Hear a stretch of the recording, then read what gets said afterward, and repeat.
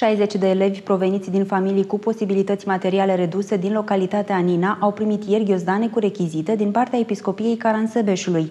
Acțiunea filantropică se înscrie în campania socială desfășurată în eparhie în această perioadă, intitulată Ghiozdanul cu bucurii.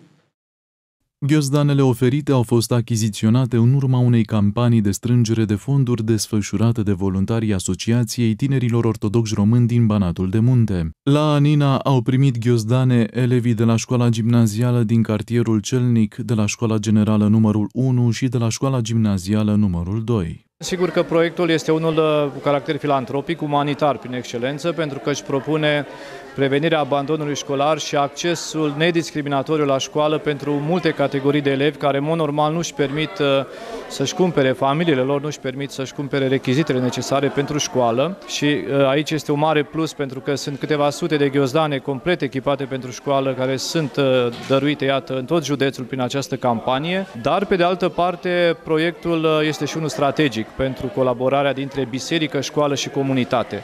Este foarte importantă prezența tinerilor atoriști, tinerilor de la centrele de tineret și de la Ator Banatul de Munte, care practic sunt veriga de legătură dintre diversele instituții și diversi oameni care și-au dat mâna pentru a face posibil acest proiect. Tinerii de la Ator sunt, așa cum am spus, veriga care fac legătura între biserică, pe de o parte, între preoții noștri care au realizat o colectă frumoasă în Paruhii prin care au sprijinit acest proiect, pe de o parte, pe de altă parte, legătura cu școala, Inspectoratul Școlar Județean Caraseverin fiind uh, partenerul nostru în cadrul acestui proiect și nu în ultimul rând cu comunitatea, pentru că foarte mulți oameni de bine, oameni cu posibilități și cu suflet mare și-au uh, propus și iată au și reușit să sprijine acest proiect diverse organizații, persoane fizice care au venit alături de, de noi ca și biserică la inițiativa tinerilor noștri pentru a sprijini acest proiect.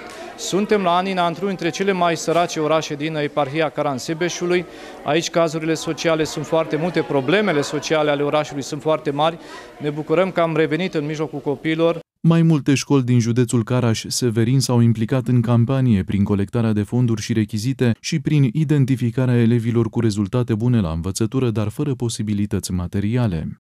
Noi, conducerea școlii, suntem bucuroși că se desfășoară acest parteneriat în beneficiul elevilor noștri care provin dintr-un mediu mai sărac, să zicem, și este un ajutor pentru, pentru ei.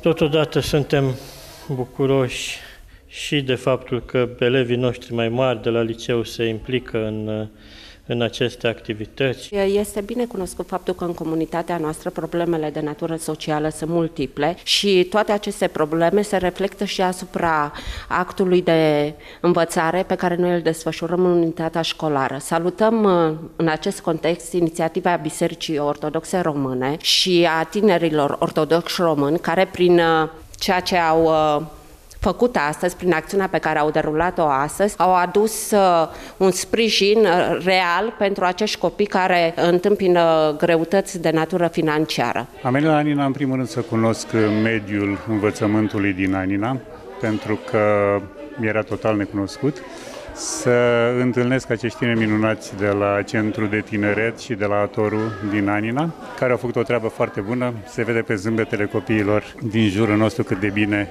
au reușit. Am venit de asemenea să dau un exemplu și să sper să stimulez mediul de afaceri din județul Caraș-Severin să sprijine proiectele proiectele caritabile în special. Am văzut că a stat de vorbă cu copiii care le-ați oferit aceste rechizite care a fost mesajul care le-ați transmis? Am vrut în primul rând să le transmitem uh, iubirea necondiționată, să transmitem cât de important e să ajutăm. Până la urmă, asta e ce ne face oameni, cu adevărat. S-au bucurat copiii de rechizitele primite?